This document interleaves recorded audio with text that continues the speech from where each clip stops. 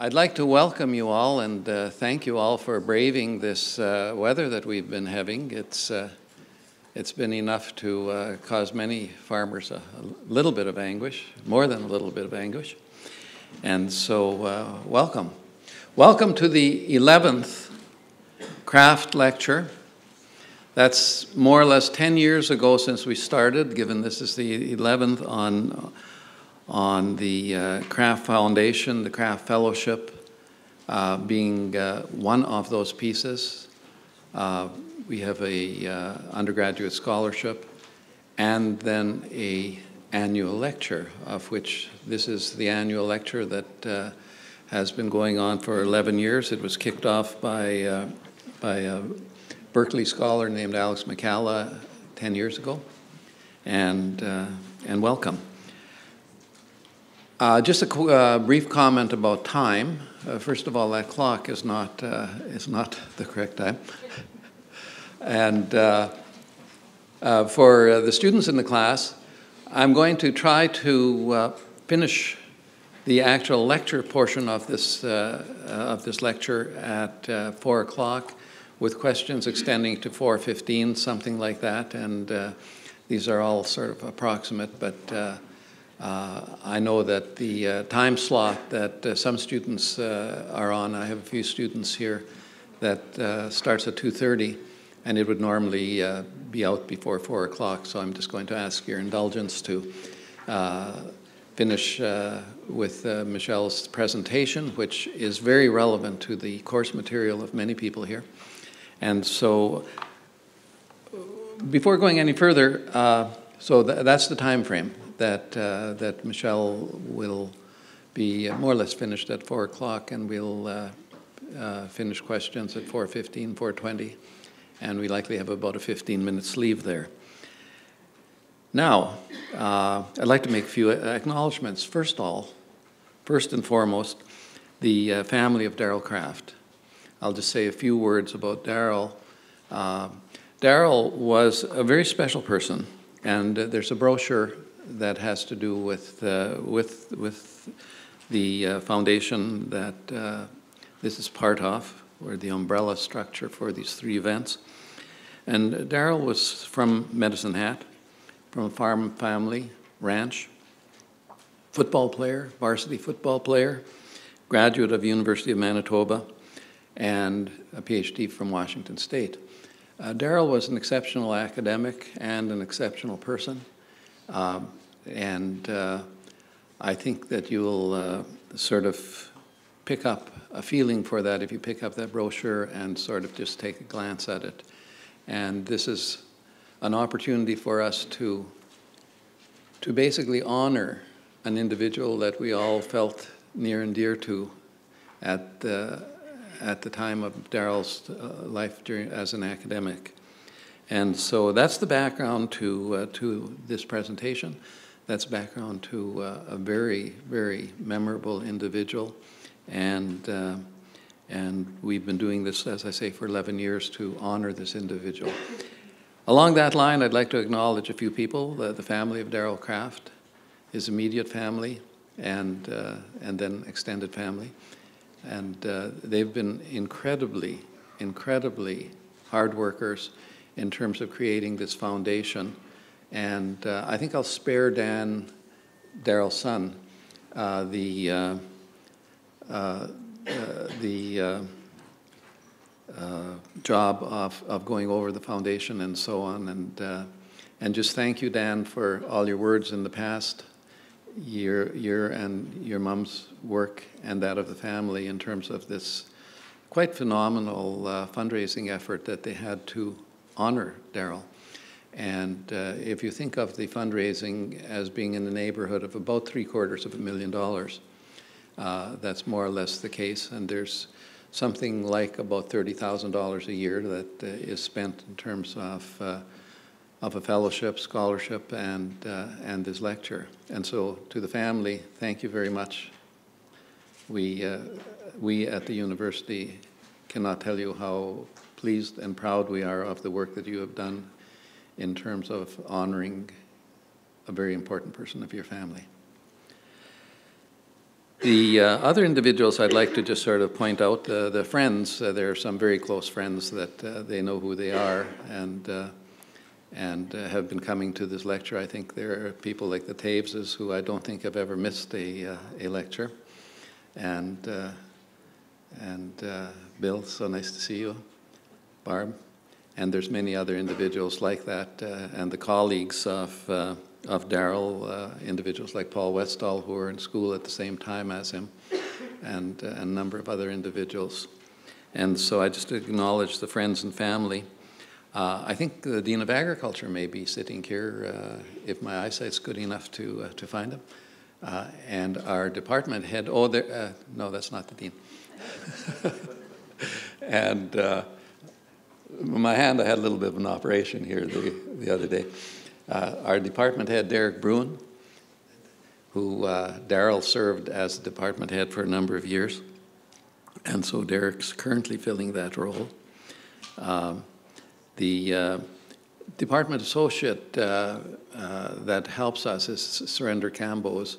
And I'd like to thank Surrender now, because sometimes leave that till the end, but I'd like to just have it up front. And thank Surrender for all her work and diligence in terms of organizing uh, this function and, and, and keeping everything on track. So thank you, Surrender. Um, the, uh, uh, another person I'd like to uh, acknowledge, Farm Press. And uh, Alan Dawson, uh, I think, uh, has likely attended every one of these as well. And we're at, we at the university are very, very happy at the, at the attention that you've given the university over the years, Alan. Another individual I'd like to acknowledge is the individual who is uh, the recipient of this year's uh, Kraft Fellowship. His name is, is uh, Lang Gong. And uh, Lang, where's, where's Lang's over here? And so, uh, congratulations, Lang. You're uh, following a great tradition. And so, with, with that, I think I've covered a lot of the acknowledgments. Uh, we're going to have a few uh, words of introduction by Ryan Cardwell for this year's Kraft lecture, Michele Veeman.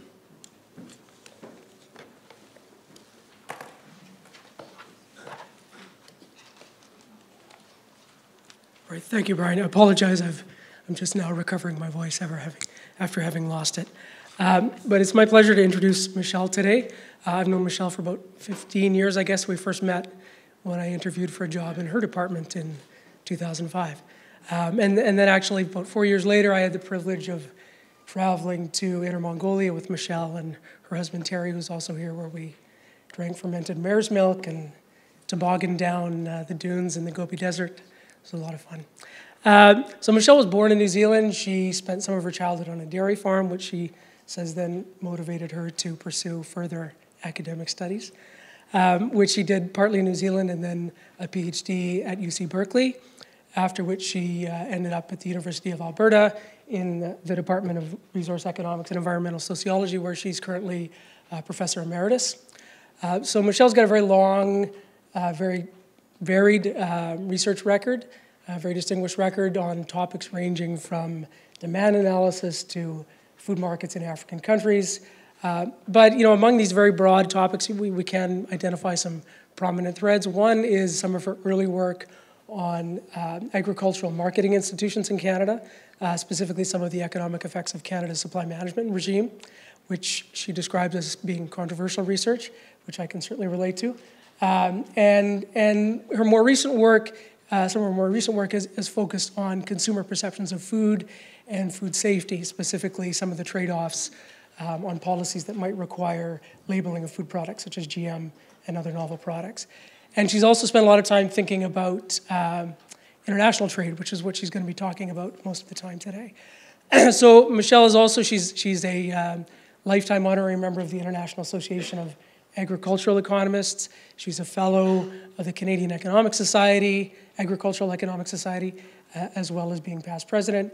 Um, and she was also a, um, a board of director member at uh, the International Food Policy Research Institute, so very prestigious title in NCV.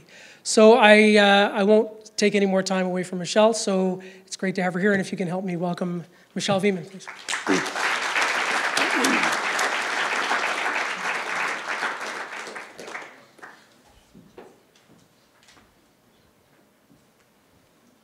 Thank you. I'm hooked up to a, to a mic, which I'm not used to. So um, does it work? Can you hear me? Uh, people in the back hear me? Okay, that's great.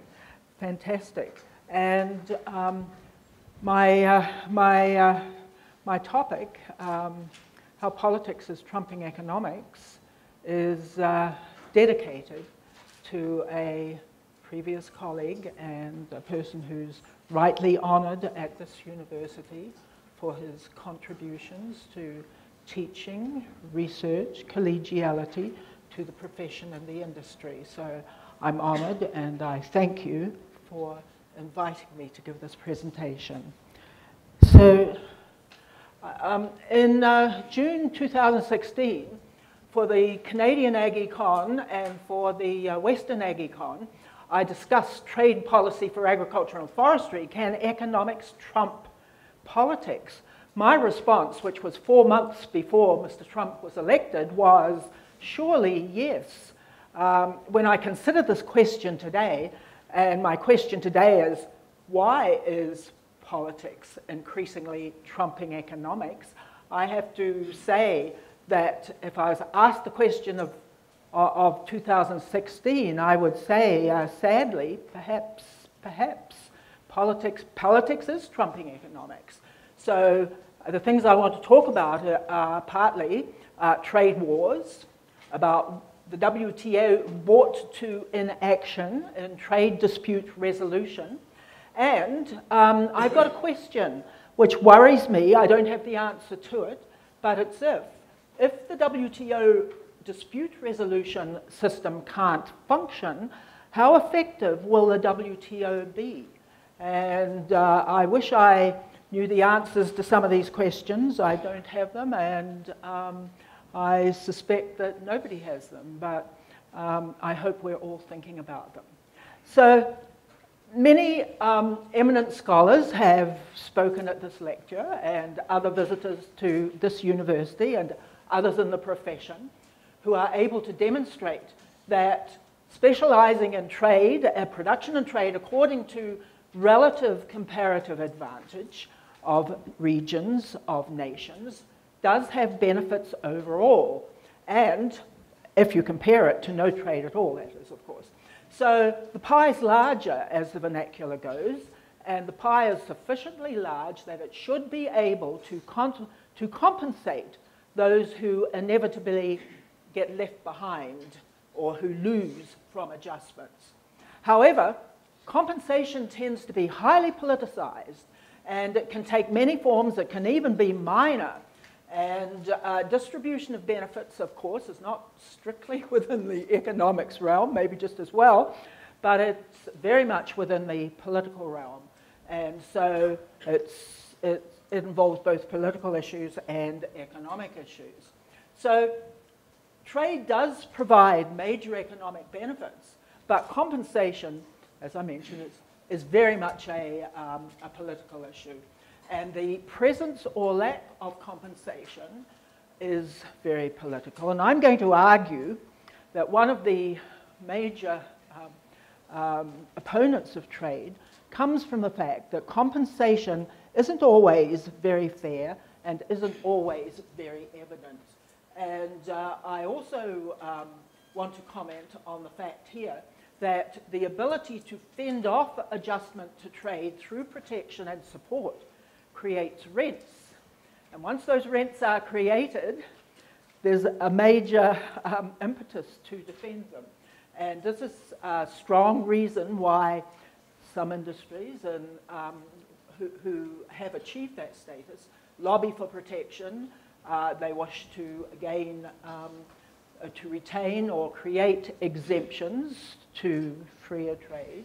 And uh, this happens as, the, as we see from the monitoring assessment that is done by international agencies like OECD and WTO that um, uh, in EU agriculture, um, in the US, sugar, cotton, timber, we're conscious of at the moment, and in Canada, dairy and poultry are effectively um, able to lobby to maintain the, um, to protect themselves from freer trade.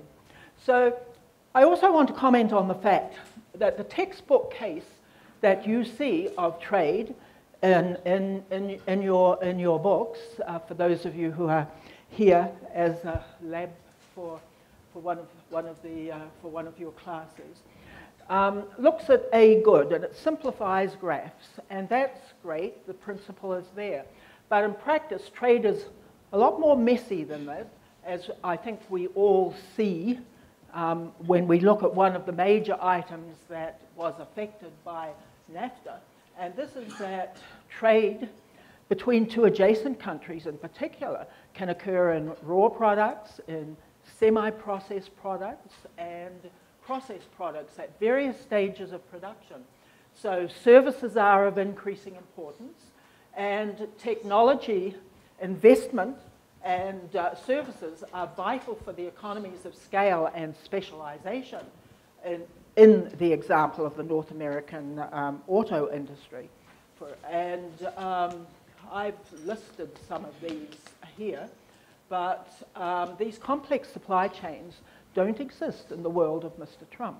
Um, um, he um, assumes parts are parts not that parts go across the, um, not that they go across the country or go across the borders several, several, several times in the process of, of, of uh, the process of production. And um, this is uh, um, this is one of the features of the, the detriment, I think, in the uh, re, re, replacement of NAFTA. Now, um, I'd like to uh, proceed on to uh, talk about some of the criticisms of trade. And criticisms of trade are that jobs are lost, jobs are stolen by lower price company, countries, that jobs and autos are stolen by Mexico, which has lower wages, um, that um, manufacturing jobs have been stolen by China's rapid industrialization. And um, um, and the third feature, of course, and tied in with this, is nationalization, populism, authoritarianism, all of which are growing, um, are growing in the world. And uh, I'm going to argue that, um, well, let me wait a minute, but examples are Trump's Make America Great Again, uh, Britain, uh, Johnson's Brexit at any cost. Hopefully, it won't be at any cost.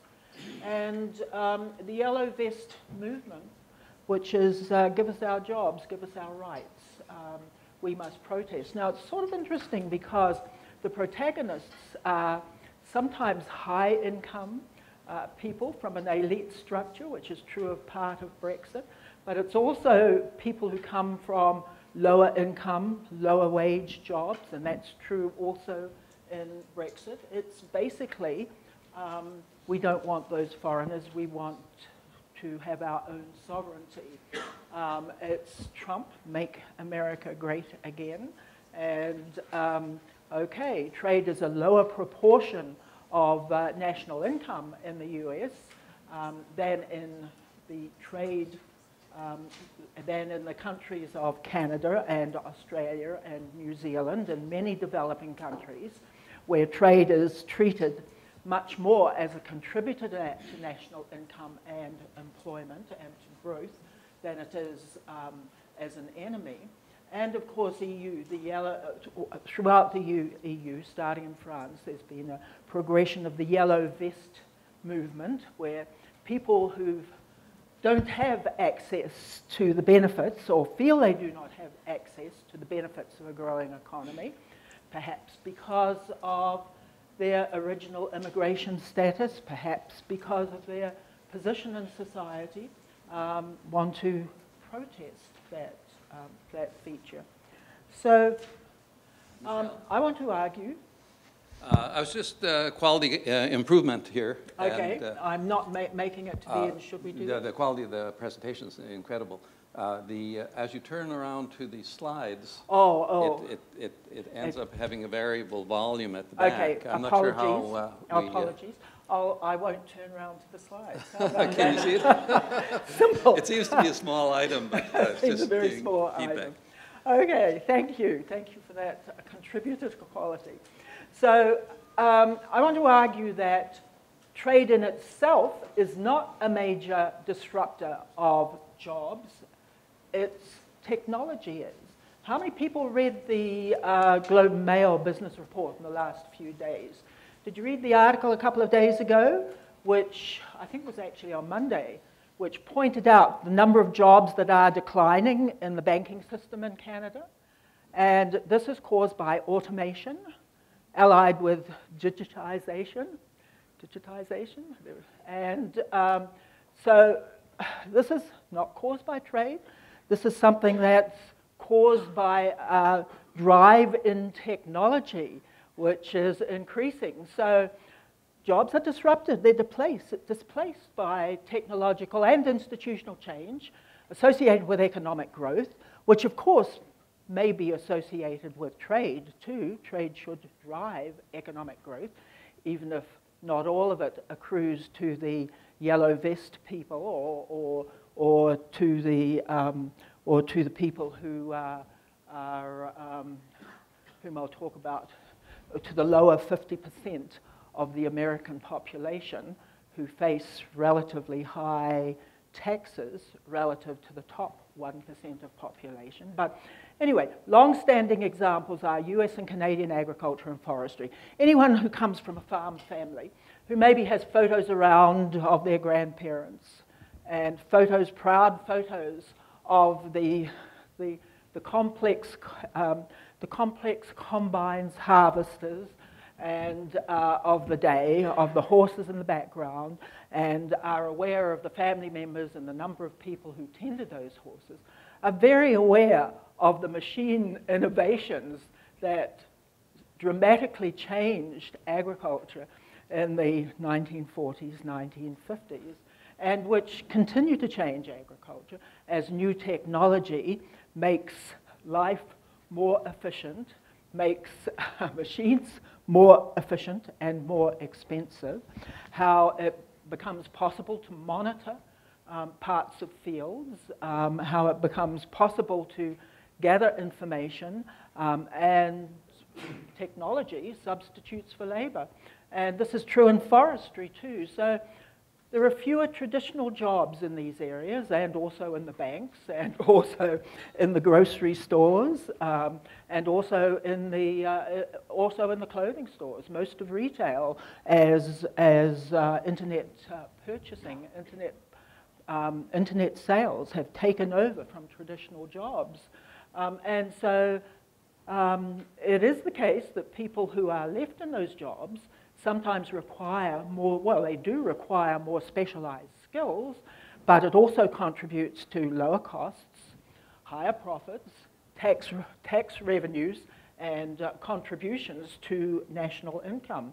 So I don't think we can really say um, technology has destroyed jobs. But, and technology is still contributing, as I've just expounded. So we've had these waves of technical and institutional changes in industrialization and automation. Automation, most recently in the banks, grabbing the Globe Mail head, headlines. Digitization, internet, artificial intelligence, 3D copying, um, which may well revolutionize um, precise, uh, precise manufacturing processes. They're all accelerated, but they're not directly caused by uh, globalization and trade. And this is another very poignant issue, which um, relates to, um, relates to uh, uh, the recent strike of GM. And um, who will keep their job at GM Oshawa in 2019, by the end of 2019. And this is the harsh example of technology disruption. Does anyone follow Bloomberg Business News? Because if you are, you possibly have read this headline. It was in the uh, um, in Bloomberg news releases. Um, let me see, only about four days ago, approximately four days ago. And I'll read a quote from this news release. GM knows what it needs to do to secure its future. And it's not Rebecca, a production operator at the Oshawa factory with a community college diploma plus 18 months of university, who places two belts on an engine every 108 minutes, uh, sorry, 108 seconds, but less seniority than most of her co-workers because of the way seniority was calculated and because she went back to community college for two years, etc. But the person who keeps the job will be Amanda, an electrical engineer with two university degrees, not a PhD, but two university degrees, and um, she has 24 patents to her and her co-worker's name. She oversees a team that designs software for the next set of the next generation of vehicles.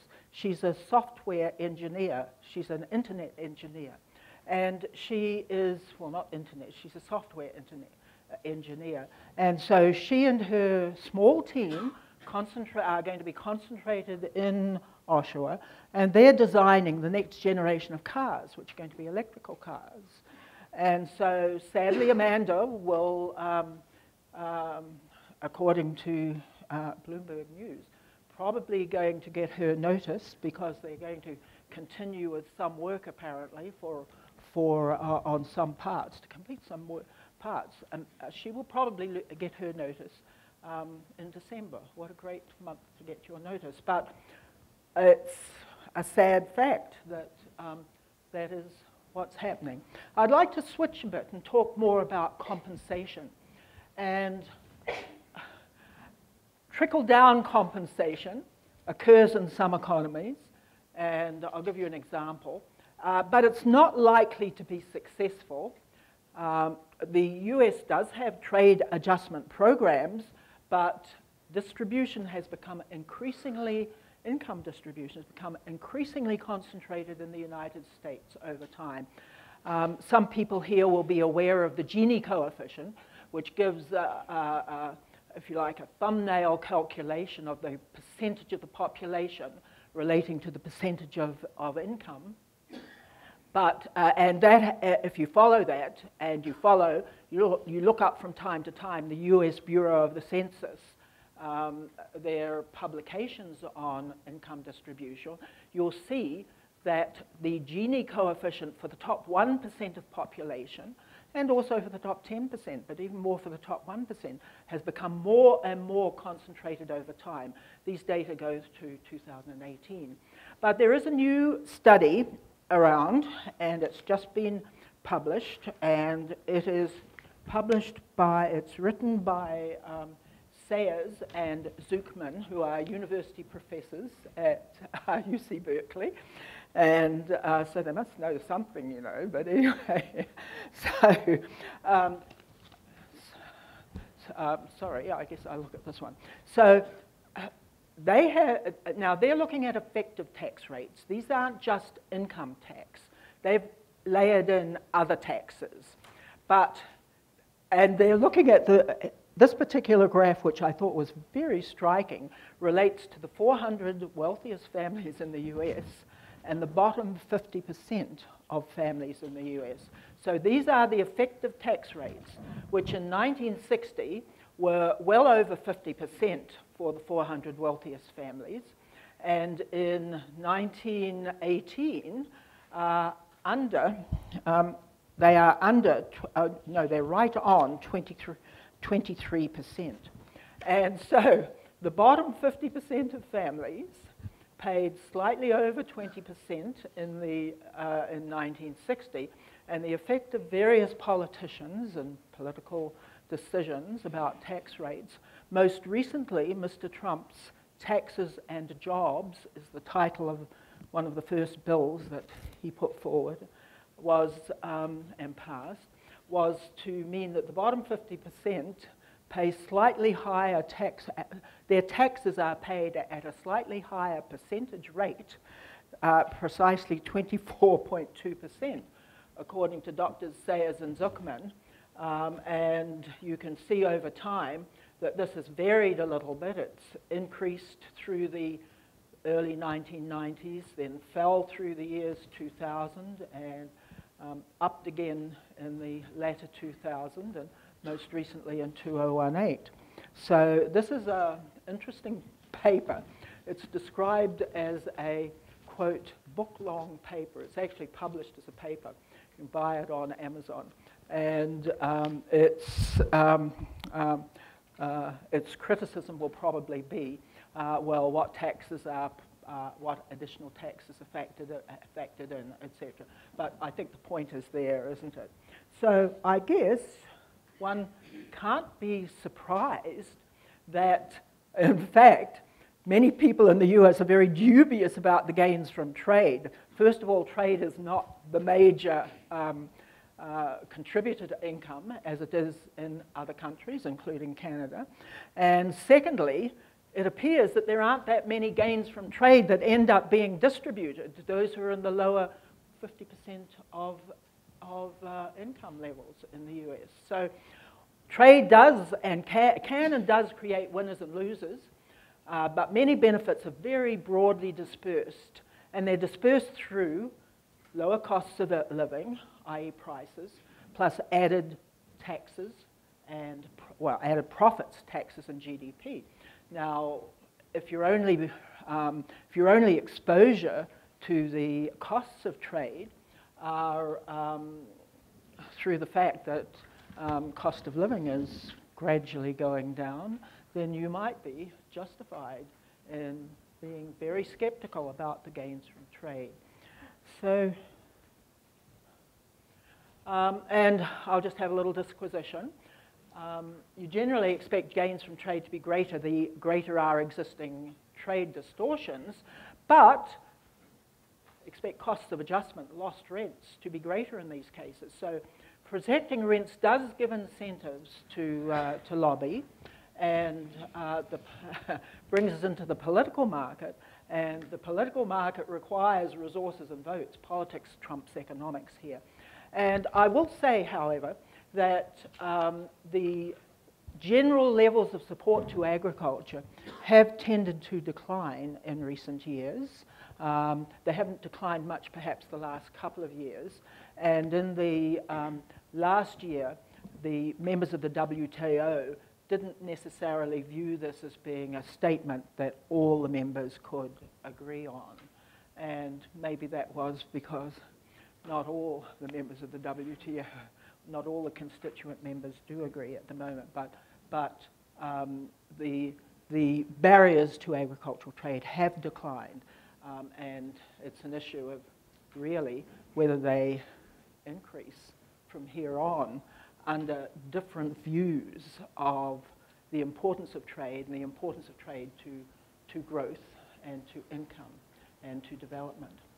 So I'm back to my story. Reactions to technology, unfair income distributions, and the desire to protect economic rents are important, but they're not the, they're not the, the most or necessarily currently the major of major importance.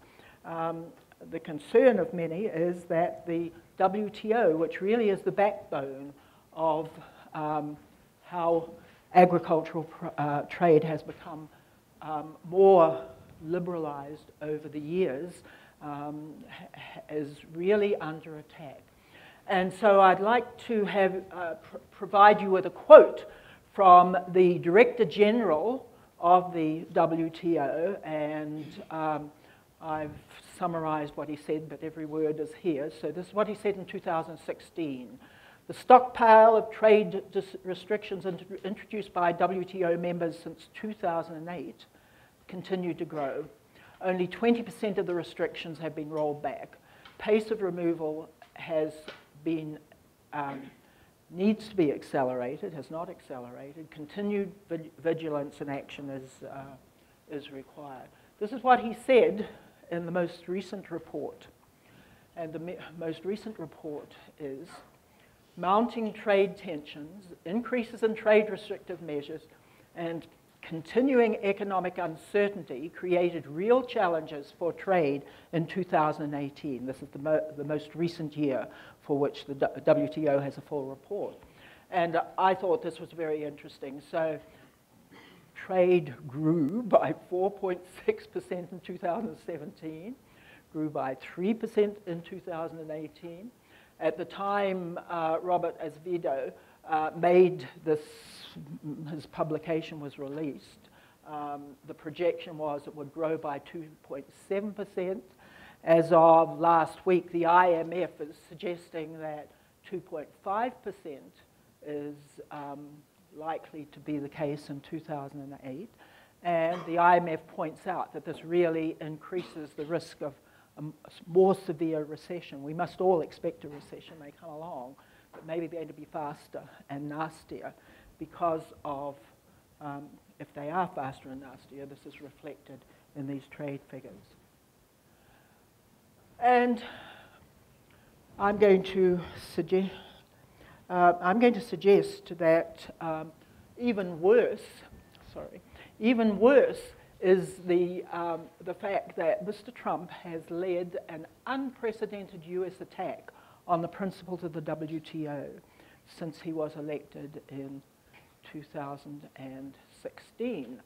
So, um, uh, first of all, I think everybody in this room is aware that he started a trade war by appealing to the US legislation relative to national security by trying to put a blanket tariff on all exports to, that is, imports by the United States on, on aluminum and steel, arguing that this was due to national security.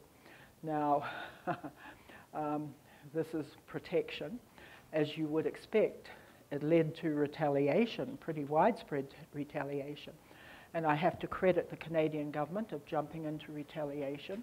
And I have to um, point out that um, the tariffs on Canada were removed a month later, as should be the case. They're supposed to be NAFTA um, members.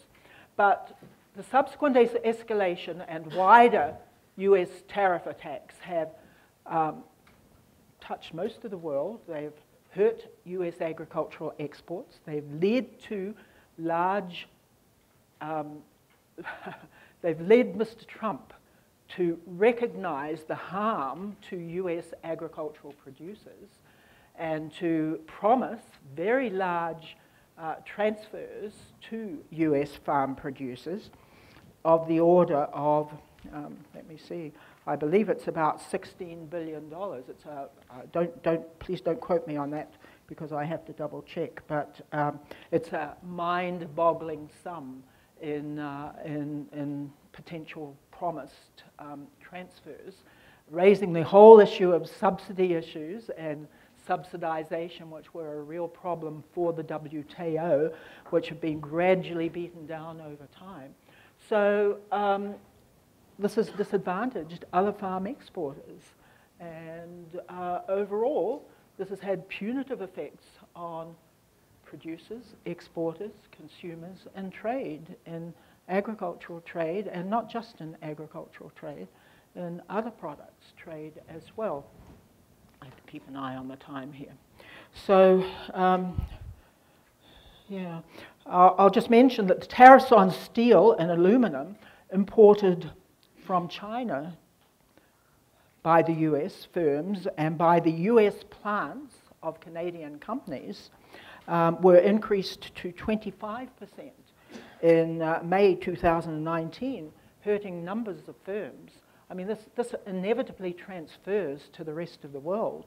Um, if, um, so it's transferred to firms like Dorel, which makes um, baby stuff and bicycles. If you're a bicycle maker, you, you might be, or a bicycle user, you might be aware of the fact that um, their prices are under pressure, their sales are under pressure, their profits are under pressure.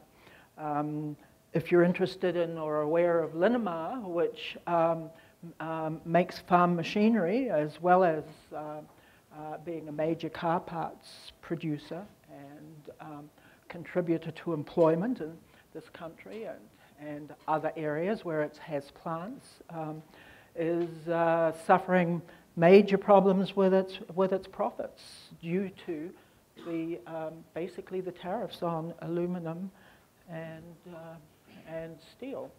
So this is punitive effects generally. So that, um, and of course, the other aspect is that Mr. Trump has pursued is trade war with China.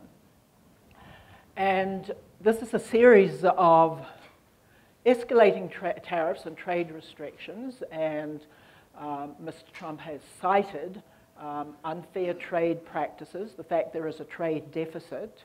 Um, economists believe that there may well be trade deficits with some countries. The issue is the, your entire deficit. You're, you're not expected to not run a deficit with individual countries. You, um, your relative strengths and your trading partners' relative strengths will, will modify that. But um, that th and so they also cited theft of intellectual property and forced transfer of intellectual property to China. Uh, some of these things probably have occurred. Some of these things are changing, um, provided in fact um, firms register their patents in both China and in their and in other countries. But Anyway, um, these are the allegations. They've been met with retaliation. They've escalated. So, um, and um, very, very recently, they, so the uh, US-China has been undertaking trade talks, of course. You're probably aware if you read the business news. And uh, most recently, the Commerce Department has banned a number of US firms from uh, software and hardware sales so this applies to um, software and hardware that would come from 20 important Chinese AI firms. And um, the US has blacklisted eight firms, uh, which are growing firms, whose products, quote, facilitate um, surveillance of the Muslim minority in parts of, uh, of China. So uh, the, the Economist said this ban hits at the hearts of China's AI um, uh, ambitions. So um, normally if countries have concerns with trade and uh, uh unfair practices, they normally take them to a WTO um, court. And uh, however, the process by which this is normally pursued is actively being destroyed by the current uh, US president, who um, really doesn't have much time for uh, multilateral trade agreements. You will possibly all remember that he wanted to get rid of uh, NAFTA and did his best. Um, he wanted to get rid of the dispute resolution processes within NAFTA, and I have to credit the current um, uh, Canadian company about, uh, uh, uh sorry, uh, the current Canadian um, politicians and government in managing for, to forestall that at some cost, perhaps, of giving up some other concessions. But that was very important. So these are issues. So there's an on again, off again. Um, so most recently, US and China are saying that they um, that the US will shelve um, a series of planned increases on tariffs. Beijing will buy 400 to 500 dollars US of agricultural products. Most recently, 500 is cited. That's not good news for countries like Canada, where, who rely on comparative advantage in our established trade ties, if in fact a country which has a planned economy, um, but, but where, um, in fact, it has a relatively freer economy than it once did, but there's still a large element of central planning. If it, in fact, moves to uh, focus trade with, the, with our largest competitor, uh, we're, we're moving quite a ways away from the concepts of free trade. So the saga continues. Um, uh, Mr. Trump has claimed success in stage one negotiations for, for a prospective US China agreement. Um, and we all wait to see what's going to come out of that. Um, but um, one suspects it's probably going to hurt third country exporters like, um, like Canada, especially on agricultural trade. So, are the Trump tariffs WTO legal? Well, I don't, I don't think anyone would think that they're in accord with the WTO principles of equal and fair treatment of, of, uh, of WTO members, and we could go down the list of principles that the WTO proclaims. And um, the appeal to national security um, is hardly very um, persuasive to the rest of us. And tariffs are increasingly being applied for political reasons. And I, and I'm sure you, could come up with lots of different um, examples. I've got one example here. Sorry, I can't turn around. Um, and that is the threat to Mexico demanding action to reduce or eliminate the number of illegal aliens crossing into the US. Uh, this was a May 31, 2019 threat. So this is having major effects on many countries, and it's increasing the threat of recession. Um, we must eventually expect some moderation in economic um, activity, but uh, we've had, but um, this is not going to help. And so, as well, Mr. Trump claims that the WTO dispute settlement system is unfair to the United States. And I guess some reason is some cases go against US law and uh, legislation, and the process takes too long. Well, let me tell you that it's taking much longer these days because the US is, um, is is preventing the appointment of any new appointees to, to, the, um, to the appellate body, as this section is called. So we're down to, I think we're down to about three at the moment. They are there for fixed terms. Um, cases that have been in process for a long time can go back to the original group of arbitrators but it's calculated, or the WTO itself points out that by December, um, there's going to be one person on the appellate, on the, uh, amongst the seven appellate board members. You can't hear a case with an, he's basically the legs have been cut out from the official multilateral dispute settlement mechanism. So this is a, um, this is not a good situation.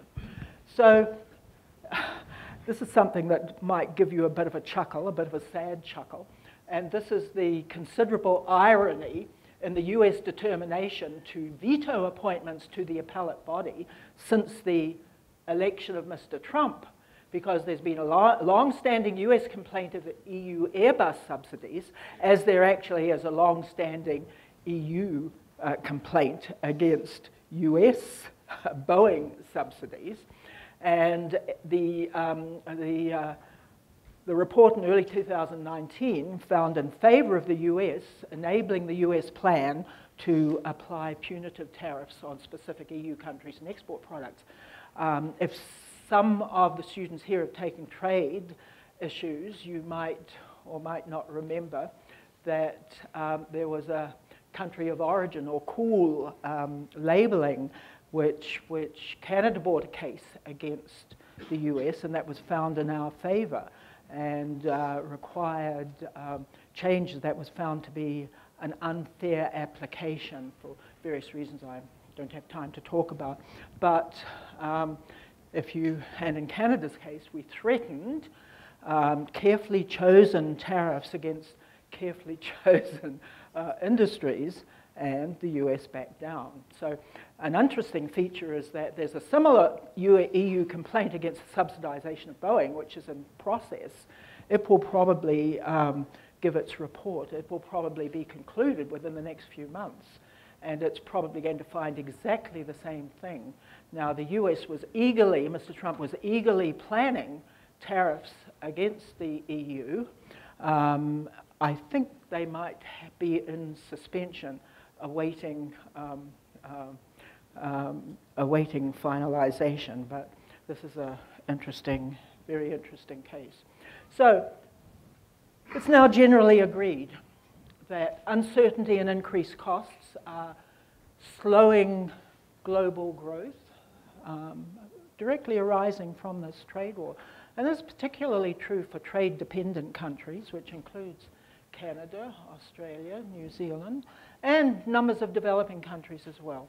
That this is, uh, this is slower global growth of manufacturing, crowding out farm products trade, threatening employment levels, and likely to uh, contribute to the inevitable recession, which we may expect after some decade plus of good times, to uh, have a much worse, uh, much worse conclusion. So um, here's some more irony. Um, US exports will finally have access to some of the 2017 Trans-Pacific Partnership details um, uh, through a separate agreement with Japan. Now, the TPP, or uh, the initials are slightly different, but um, my brain's so old it only holds certain numbers of, of, of numerals. You're, you're supposed to laugh, not politely keep quiet. but um, but um, he, uh, but the US was, um, no country was an actual signatory. It was not signed in advance. So when Mr. Trump took office, he took great delight in withdrawing the US from the TPP. The TPP was to be the, as each country who signed enters when they please. And so it's primarily higher income countries, but um, lower income countries are starting to uh, move in, and uh, Mr. Trump called this a very poor deal. Well, under pressure from US farmers for better access when TPP members um, like New Zealand, Australia, uh, and uh, Canada were um, able to capture more exports of beef, for example, and pork um, in, um, in the Japanese markets, um, uh, Mr. Trump um, announced agreement with Japan to at least finally to pr provide uh, the, TP, the US with some TPP access. This is going to cover two portions of the agreement, agriculture and digital trade. So as some economic commentators have noted, there is some room for Canada um, if our exporters um, see um, and pursue the opportunity to, to um, seize the day in the manufacturing area. Um, may be a bit of a push, but it's something that should be pursued. Um, the TPP, um, the, this Japanese access won't come in, doesn't come into immediate attention. But we've also got to mention Mr. NAFTA's, Mr. Trump's actions re NAFTA, which um, uh, basically led led to its characterization as the worst trade deed, deed ever. And I have to say that the current government does receive, should receive kudos, and I'm surprised they didn't make more um, effort to point this out in the recent election, uh, that they basically managed to retain NAFTA um, with, at some cost, of course. So it's a, uh, NAFTA now has higher costs and um, it distributes relatively more benefits to the US, but it's got major features of this very important pact. So, and it retains dispute settlement, which was a priority for Mr. Trump to, um, to, to delete. So, um, and the other feature that's really messing up world trade at the moment involves China's actions. We are very much at odds with the country of China. I think everybody here is aware that um, political events have overwhelmed economic events, and uh, so it's very uh, so. Um, Canada is bringing a case through the WTO against China on this issue. Um, I hope it goes into play while there's still three, uh, three members of the, uh, of the panel still available. But it's pretty hard to prove the case because China is suffering severe effects of the African uh, swine flu virus on their pig population, and that's leading to less um, feed use. Now, soy is the major um, issue here, is the major grain here, which, which is affected, which is um, less of an impact on Canada than on some other areas. And uh, um, the, on the uh, issue of meats, where pests and mislabeling have been made, and so there have been no recent shipments over past months. It's, these are apparently dubious, but it's pretty hard to prove. So, so what should be the Canadian reaction? What is the Canadian reaction?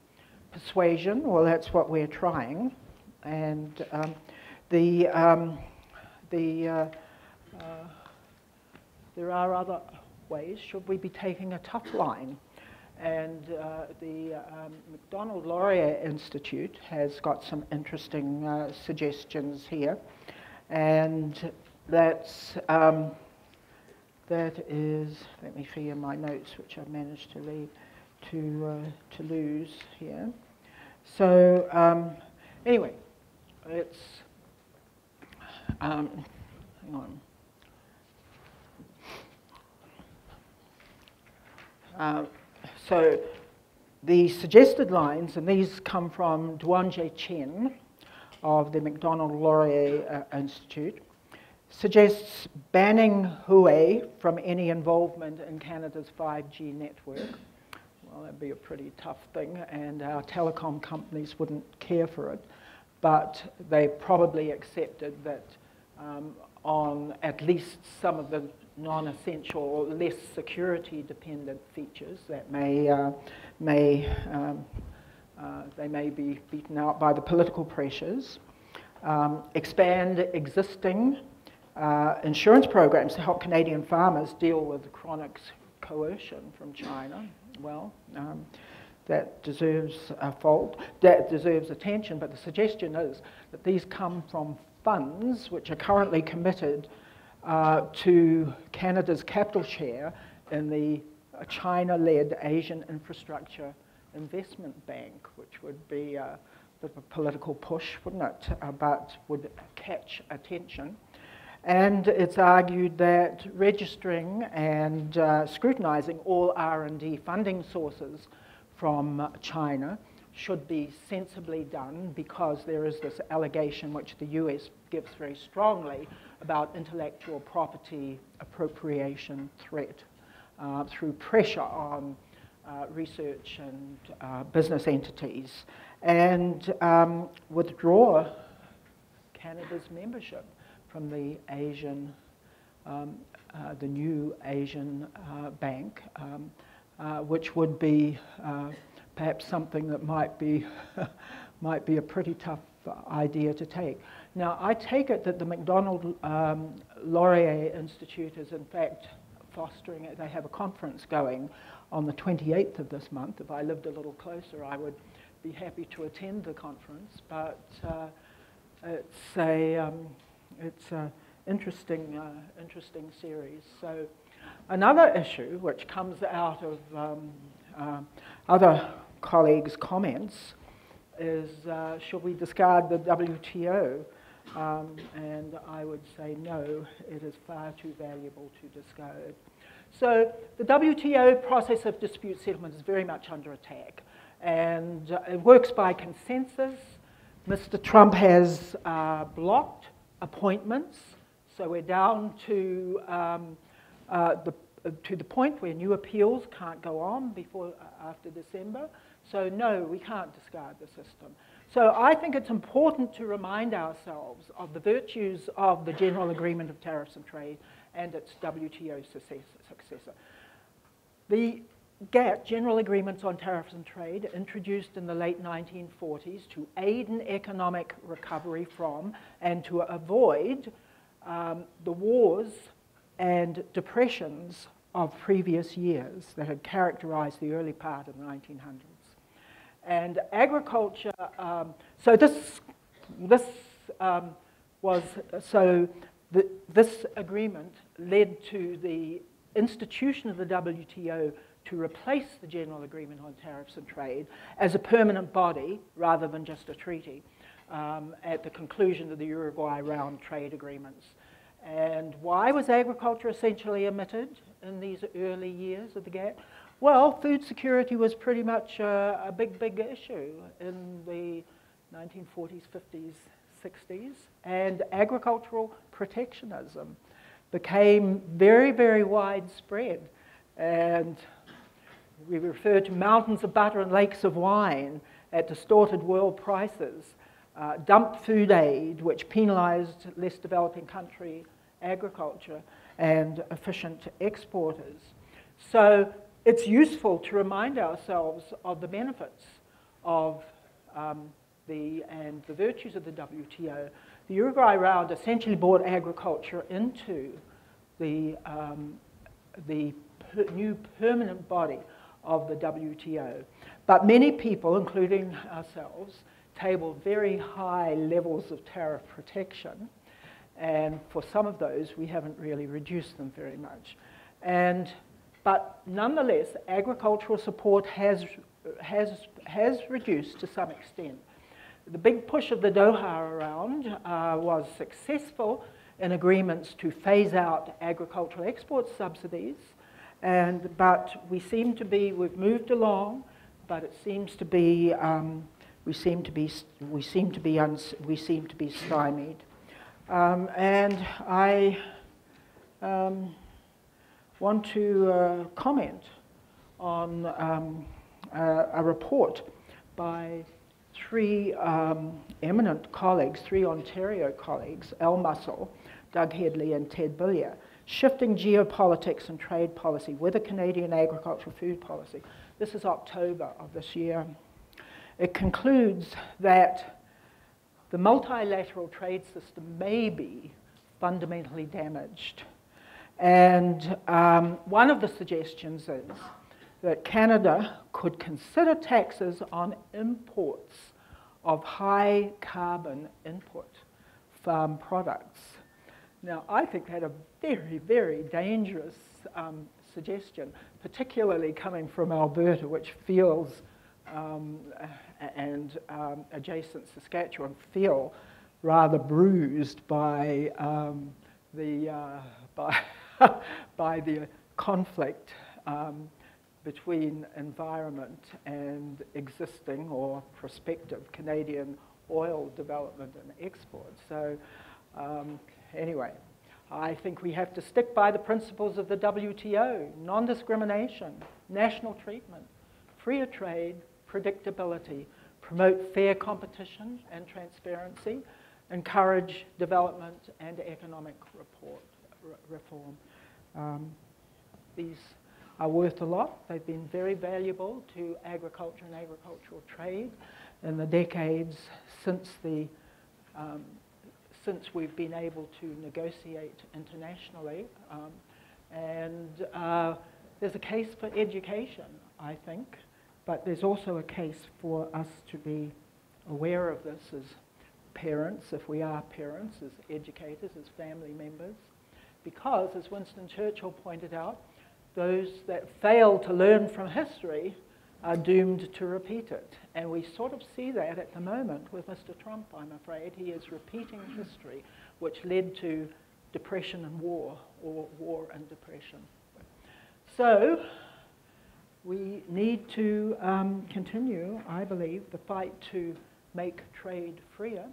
And uh, the WTO does more than settle disputes, um, but um, uh, fixing the current impasse in the, um, in the uh, dispute settlement process is going to take um, concentrated global effort. And the next meeting, formal meeting of first ministers is in Kazakhstan. Um, the appeals procedure is not going to continue to then, it's going to essentially expire this December. So I want to thank you all for listening, and I want to um, uh, mention that if there's time, comments and suggestions are, um, are welcome. And I want to thank the organisers for inviting me to give this presentation, which honours the many and varied contributions of a previous, previous colleague, Daryl Kraft. So thank you.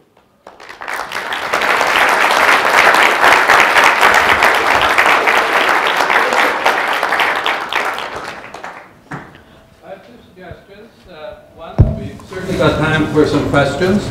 And uh, secondly, uh, uh, for uh, the students, a few students uh, mentioned to me that uh, at 4:15, 4:30, they have some obligations and so on. Um, We have a folder at the back that my uh, questions to you uh, that I hope help you focus on the presentation, uh, handed the uh, the uh, young lady with the purple folder. Uh, And, uh, and uh, let's set the questions first, because Michele certainly gave us a lot to think about. And those of us who uh, almost avoid uh, television since Mr. Trump came in uh, are really wondering where we are going with trade. And can we actually teach trade courses like we used to? Good question. So, any questions?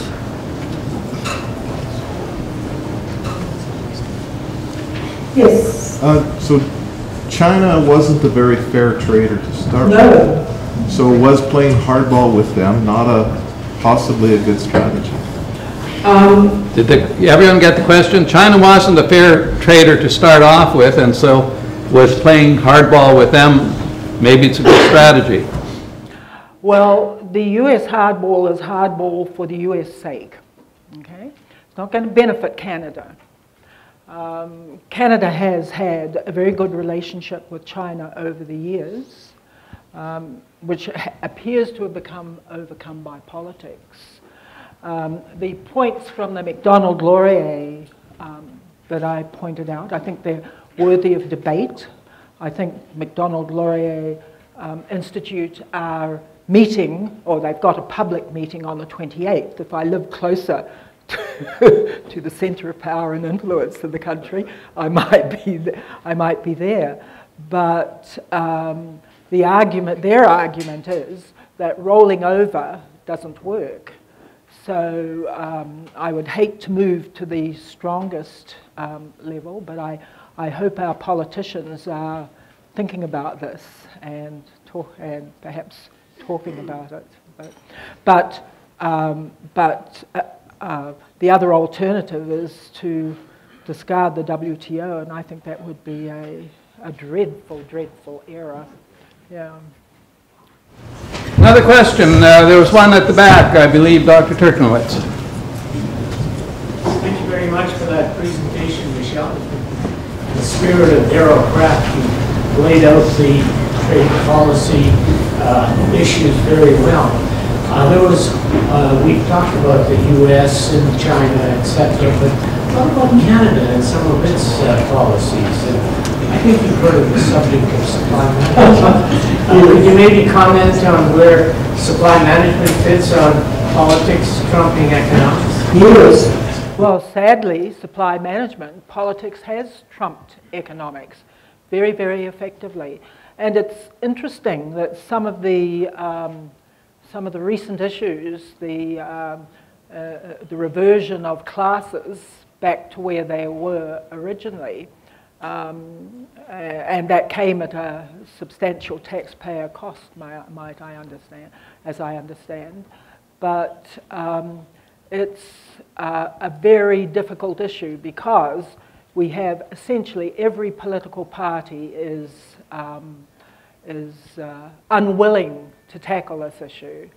Um, and uh, um, perhaps this is even more evident in a, in a, in a climate of uh, the election last evening where um, a more um, determined group of and solidified group of, of, of politicians are now in power in Quebec, um, where the bloc is essentially in power. So I don't know uh, what we do about this, Ed. I think, um, uh, I, I, suspect that if we are going to persuade China and um, other recalcitrant countries um, to, uh, uh, to follow rules, we might have to forego our exemption. After all, when these exemption areas were carved out, there was an understanding that they would be phased out.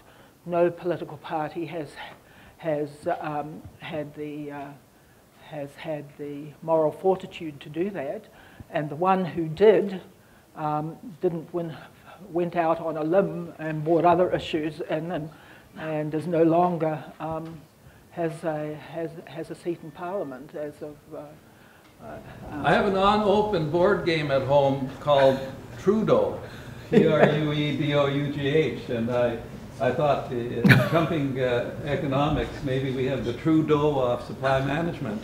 Yeah, yeah, yeah.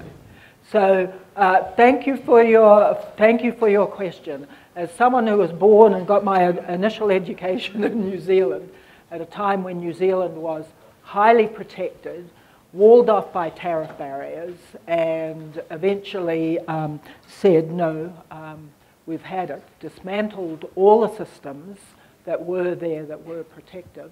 Um, I have to agree that that should be done. I have to also say that when you're a small, powerful group, and it's just been, I believe we just read in, the, in, in one of our well appreciated farm newspapers um, what the annual dues are that dairy farmers um, provide, we can understand how much lobbying or just general observation tells us how much lobbying pressure is there. But Canada may have to decide um, how much we agree, you know, how much we um, wish to um, uh, accept free trade. We have two more questions. Not just one, two. I'm just wondering if it's possible the U.S. administration is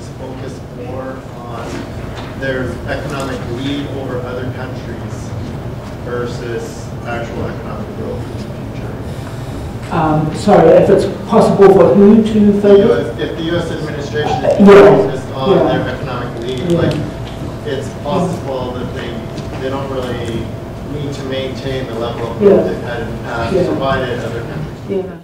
Well, I suspect, uh, I suspect that will depend on the new, next US election, won't it? Because this is a very Trumpian view. The US has a privileged position on um, these various international bodies. The US was a leading figure in their initial development, including the initial development of the WTO. That's perhaps why Mr. Trump has the unusual position of being having one American member of the seven-member um, uh, uh, uh, body of the of the appellate body, and um, so uh, I, I, would think that with um, uh, I wouldn't want to flip a coin, but I fear that impeachment may increase his chances of re-election. I'm not a political scientist, but that's what the political scientists suggest. So, um, so I would like to agree with you, but we may need another president to make that argument. And to be quite honest, I worry uh, something called hysteresis. You know, when, when you go off in this direction, it's not always possible to come back to your starting place. You may verge back to a more protected rather than an unprotected world. But thank you, that's an interesting issue. What was the other question? Mr. Rowley, question. Yeah, I'm curious, you didn't really mention bilateral trade agreements. Maybe they're the way of the future. Well, this is Mr. Trump's idea. And really, it's the idea divide up your enemies and conquer.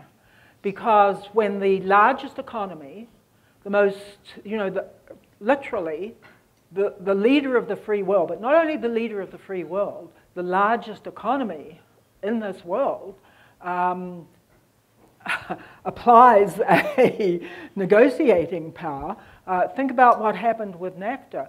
We were lucky that our politicians managed to keep the dispute settlement mechanism and had to give up maybe the amount of money that we've paid to some industries subsequently.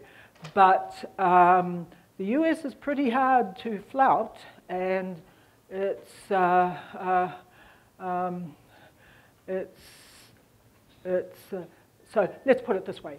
It's better to have individual ag- trade agreements than no agreements. Um, many people, myself include, include, believe it's better to have multilateral trade agreements because you're not throwing the small economies out of the boat. You're, you're saying development matters and uh, let's have equal treatment. So anyway, that would be my philosophy, but I agree with the point that some trade is better than no trade, but free trade is better than, than, than both. So I'll maybe draw things to a close. Before an applause, let me uh, just have a couple comments. Uh, We actually have a uh, a Dean's Boardroom, a reception that uh, there's room for a few people to uh, mull around and, uh, and have a soft drink or whatever we, we have. And uh, uh, Michele uh, will be making herself available there. So for those of you that have visited from far, feel quite free to join us for uh, uh, for, uh, for that board- Dean's Boardroom reception that will basically go from 4:30 to 5, something like that. And secondly, just for your information, Michele uh, and her husband Terry will be joining uh, the Kraft family and some friends for dinner tonight.